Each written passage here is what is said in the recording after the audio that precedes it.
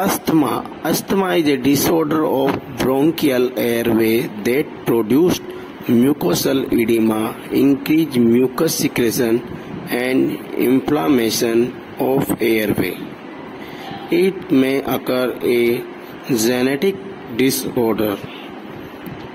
Allergens and pollution such as dust, pollen, smoke, medication, A T C viral infection severe distress sudden change in climate strong odours malnutrition clinical manifestation asthma is characterize by reversible बंक्रोस्पाज dyspnoea percept lift breathing nasal flaring and use of accessory muscles during respiration, wheezing sound during expiration, cyanosis it occurs in later stage, restlessness, treatment bronchial dilators such as theophylline,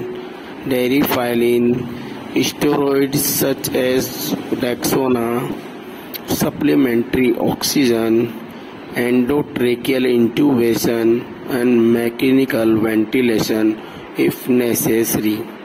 Nursing management, oxygen administration, endotracheal endotracheal suction to clear airway, provide follower position to the patient increase fluid intake.